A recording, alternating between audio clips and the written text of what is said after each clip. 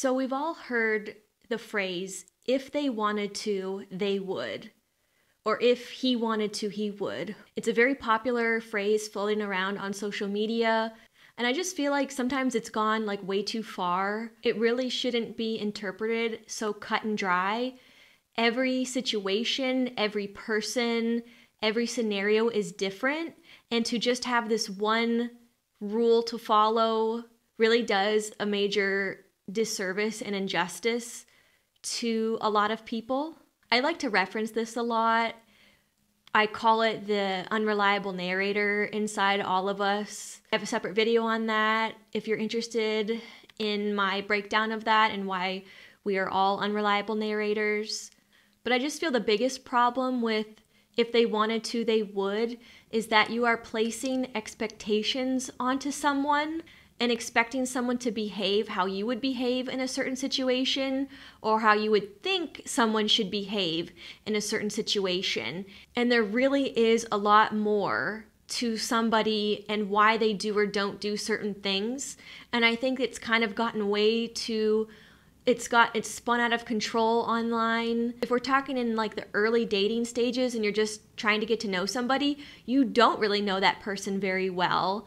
And if you're using this logic that if they wanted to, they would, for them to, for when they're not doing certain things, maybe you decide that you're just going to write them off, that they're not really interested enough, that they're playing games or something. And it's almost like you just don't have enough information yet. You may be projecting, you may be carrying the emotional baggage from prior relationships that someone did or didn't do something and placing that onto this current connection. And sometimes you can't see beyond your own hurt and pain from the past. Just be aware of that, think of that. I, I hope that you're not just going to cut somebody off because they're not doing exactly what you think that they should be doing.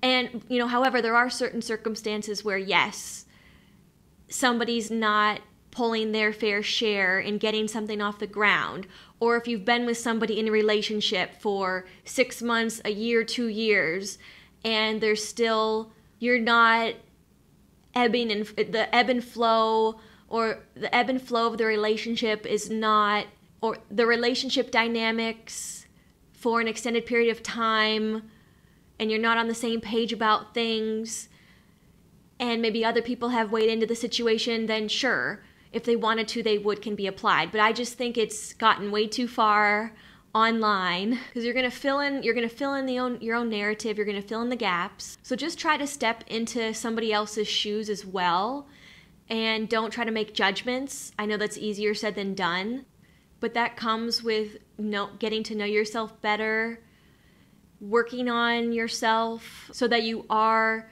not blinded by your own emotions, and you've kind of done the work to deal with the things that have happened to you in the past so that you're in the most healthiest state of mind to be able to actually critically think and remove emotion and look at the facts and not project or do or jump to conclusions too quickly.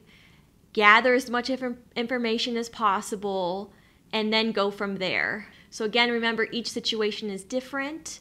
Make sure that you are as reliable as a narrator as you can be, and then go from there. So, let me know what you think about this in the comments, if you agree or disagree, or what your take is on that.